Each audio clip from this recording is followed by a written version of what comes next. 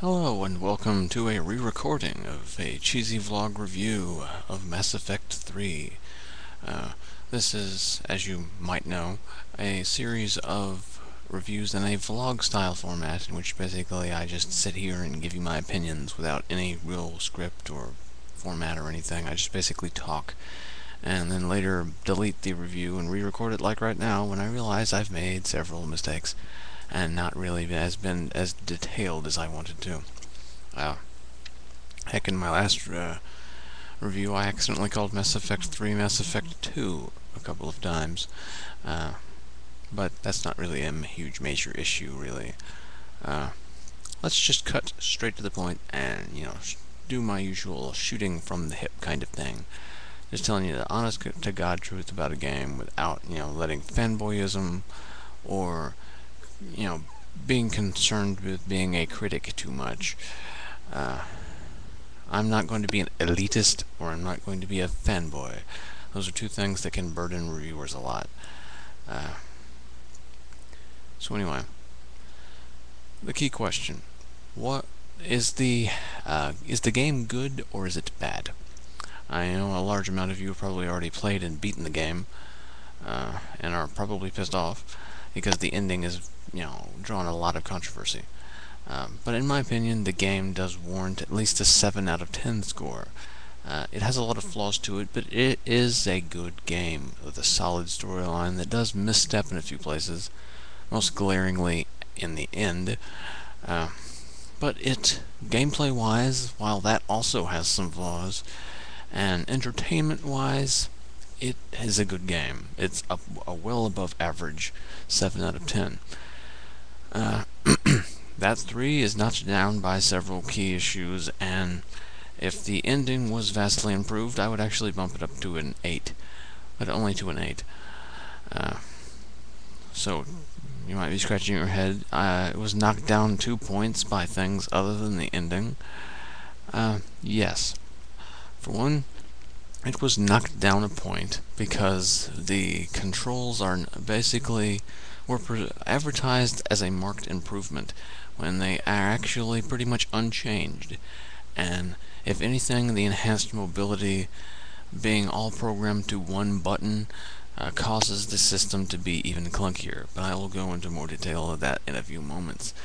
Another point was knocked off by the fact that in several ways the storyline is can be lazy at times and or render Mass Effect 2 insignificant in a lot of ways. Uh, going into detail about that is uh, going to involve some spoilers. Uh, but yeah, let's get started. Clear, concise thing, yeah, it's a good game. I would recommend buying it, but be braced for a bad ending. Uh, it's a 7 out of 10 easily. It's a good game despite the flaws. And despite the huge fanboy rage, the ending will probably not ruin the entire series for you. If you just, uh, you know, take it with a grain of salt, it it works. You know, it's not a good ending. It's a bad ending, but it's not like, oh my god, rip Skull off and beat Bioware with it bad, like some people on the internet would have you believe. But we'll go into the ending later, because that is spoilerific. In fact, there's so much I could say about the ending, I might make it in a completely different video. Uh, that's how freaking bad it is. Uh, but anyway, let's hit off some points. There's going to be some minor spoilers. I mentioned uh, clunky controls. Uh, the combat system, as I said, is basically unchanged from Mass Effect 2 they say, oh, you don't have to rely on cover for much, and it doesn't punish you as much for firing on the move. That's true. Even my sniper, frequently, once I'd gotten a really great sniper rifle, I'd frequently approach a battlefield, headshot, headshot, headshot, not even going into cover. Uh, but you will be bound to cover almost as much as you were in previous games. Uh, pretty much the exact same, like this much less. You know, not much at all. Uh, because there's a heck of a lot more enemies, and they're a heck of a lot smarter. So if you're not nailed to cover, you will get mowed down a lot of the time. Uh, So yeah, it's still cover based. And uh, the increased mobility uh, does present problems because they make the error of making everything hit on one button. Uh, it's especially clunky for the PC because it's you know spacebar, but it also can be clunky on console versions. I've heard, especially considering well in Mass Effect 2 because there's not like dodge rolling or you know uh, the sprinting is a little less finicky. You can just walk towards cover and be at a slight angle, and you'll still go into cover.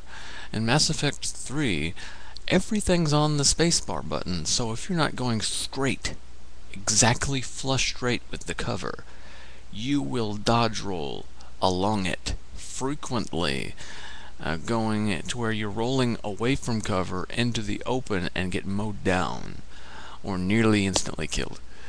Uh, sometimes in the heat of the moment you'll accidentally press spacebar twice or like hit the you know it's more prevalent on the PC version. The console version you're less, less likely to double tap but on the PC version you can easily in the heat of the moment double tap the cover button and vault over the cover by accident into a wide open space where you get mowed down. Uh, while I do enjoy the dodge rolly thingy the problem it causes where you can you roll along cover can be a problem. And even you might say, hey, with practice you'll get used to it, but I'm most of the way through a second playthrough of this game, and I'm still making the same mistakes. So it's an interface issue. It's finicky as hell. Uh, and on the uh, PC version, melee attacking tends to be a little clunky. Uh, maybe that's just me. That is probably just me. Um, so yeah, the controls, not all, that different from Mass Effect 2, and they can be a little clunky with the added functions on one button. Uh, dodge roll should have somehow been done differently, know, put it on a different button, and they should have made it where you can more easily slip into cover. Those are the two most glaring issues with it, where you, you dodge roll along cover. That's the most obvious and debilitating thing about the clunkiness. Um, now we're going to venture a little more into spoiler territory because I'm going to give some more specific examples of missteps in the storyline. You're given less party members, and I can understand that because it's not it's less about the personal stories of your companions and more about the galaxy as a whole. And even the stories of your you know companions that are in the game are basically them handling a crisis for their people. Uh, except in you know Kaidan or Ashley's case, you know the Virmire survivor from the first game comes back. Uh, and theirs is more of a personal level thing as you make up with them or, you know, diss them one way or the other. That's the most personal it gets. Uh, there's an immediate issue when they introduce a new character to your group and when instead of bringing an old one back. I can understand why they would do this storyline wise because it's a fresh face and gives you someone to relate to and uh, it's a new soldier, a young soldier, a young buck kind of guy, and Shepard in this game is kind of presented as, you know, he's kind of getting old, even though he's not, uh, not all that old. He's kind of getting to where he's an old soul, and he's been in this war so long, he's the hardened veteran, and here's this new guy, uh, James Vega, who's, you know, kind of a, a new at this, even though he's pretty, you know, he's experienced, he's still, you know, learning the lessons Shepard learned a while ago like making hard decisions and stuff. It's nice. I appreciate it. But if you're going to have him, uh, if you're going to have him in there, don't make him, uh, put him there in addition to like somebody filling that slot. It, I can see people complaining about like this new guy when I could have Rex or I could have Grunt, or I could have any number of my companions from Mass Effect 2 in that spot. And you might recall earlier, as I bring up any of my companions from Mass Effect 2 in that slot, that I mentioned earlier that several aspects of the storyline make Mass Effect 2 pointless. Uh, collector base doesn't matter what you did with it. Not at all. Doesn't affect a damn thing. And that's the key linchpin decision of the entire fricking second game in the series, and it doesn't matter. It makes it a little easier to get the best ending. That's it. By a thousand points, which is piddly. You know, it doesn't matter at all. It's barely even brought up. And guess what? With the exception of Garrus and Tali, none, not a single one of your companions from Mass Effect 2 join your party as a squad member. Sure, they'll be around during a mission talking to you, but none of them, not a single one, aside from Garrus and Tali, join your group. Therefore, none of the relationships you build lead to a party member, you know, with you the whole dang way. And Garrus and Tali, those are Mass Effect 1 companions. Uh, mind you, they do draw, draw attention to the fact that Garrus and Tali have been with you the whole dang time. In fact, I like how they built that up. Uh, but yeah, every new character in Mass Effect 2, they ain't coming back. They'll be around for. They'll uh, talk to you on the Citadel occasionally and meet up with you. You'll run one mission alongside them. And some characters more than others you'll talk to more. Uh, and some of the romance options in the uh, from Mass Effect 2, you are sh shit out of luck. Uh, if you did not romance um, a Mass Effect 1 character, you're out of luck. And some might argue if you didn't uh, uh, romance any of the original romance options, the three, Kaidan, Ashley, or Liara, you're out of luck, because those three get a heck of a lot more detail. I disagree, because Garrus and Tali are also reasonably fleshed out. But if you romance the Mass Effect 2 character, you are out of luck, because they will only talk to you once or twice. Usually only one, usually only twice. Sometimes only like one time. And in one case, you don't even stay with them. Basically, you break up. Uh, and I like the fact that Thane's back. Thane did not die between the two games, and he's given a good send-off. That's nice, and it concludes well. But then you have Jacob. I won't go into details, but if you romanced Jacob, I feel so sorry for you. He doesn't die, it's worse than that. Uh, spoilers.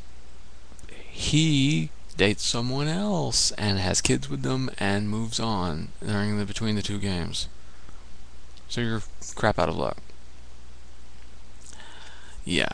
Um, and if you romance Miranda, sure, it gets conclusion, but it's basically just she's off to the side. None of the Mass Effect 2 companions will come with you. So, they might as well not even be there, except for popping up side quests. Oh, and if you romance Jack, you're kind of uh, out of luck too, because she doesn't even get really a conclusion. You meet her, you realize she's doing well, you dance with her at a club, you never see her again, until you talk with her at the end of the game via hologram, not even in person.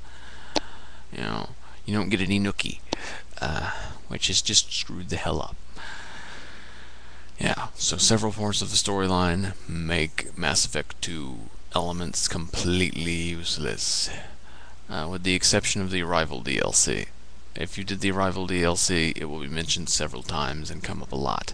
The events of that, well not a lot, but like three times, which is more significant than a lot of other elements of Mass Effect 2. Uh, so, yeah. And also, in several ways, the story is lazy because uh, they just kind of throw, you know, like, oh, here's a companion from Mass Effect 2 that just happens to show up and, you know, has this mission that's related to stuff that they did in Mass Effect 2. Uh, or, you know, stuff like that. And it's kind of, the programming is a little lazy because the issue of pulling out a weapon during a cutscene that you don't use or don't have equipped is even more glaring, considering you can equip anything and can customize your weapons. Blank weapon I don't use. You know, seriously, you think they would have fixed that by now. It don't, don't require that much code to freaking say, check uh, for heaviest weapon when you want a rifle style weapon. A little line of code. Oh, it'll check for my heaviest weapon. I play an infiltrator, pull out my sniper rifle. When I need a rifle weapon. Oh, I need a pistol weapon for a short range. Ah, pistoly thing. I'm wielding an SMG. Pick lightest weapon. Check for lightest weapon. Have him pull that out. It don't require a heck of a lot of coding. I'm not a programmer, but even I know that much about coding. They say that would not take a darn lot of coding couple megabytes at most, couple hundred megabytes maybe. A pittance comparing to the coding that would go into other aspects of the game. And they haven't fixed it. In three whole dang games. In fact, in three, as I said, it's more glaring than ever. Yeah. And, you know, I understand the script was leaked. And they had to, like, rush the things and, like, tweak some stuff. Uh, but the ending in the leaked script hasn't actually changed that much. A couple of things that are rumored to have changed a little that would make things a little better, but yeah. This review is running a longer time than I anticipated it would, although I did say I might include my opinion of the ending in another video, and I'm going to do that since this is 16 minutes already. The ending is bad. The game Despite all the flaws I've been prattling on about for the past 16 and a half minutes, it's still a good game, and I would still recommend buying it, but brace yourself for a a bad ending uh, that you might just fanboy rage about. If you're prone to fanboy raging about bad endings, uh, brace yourself, because you will fanboy rage about this ending. If you, you know, just like take it at face value and, you know, okay, it, it's bad. It doesn't really present any closure, and uh, anything like that. And looking at other endings on YouTube, they're all the same. Uh, none of my choices matter to the ending. Ah, it's the journey is good. The ending, we'll get to that in the next video. It's gonna take the whole 20 minutes probably. Yeah. Cheeze of Ages signing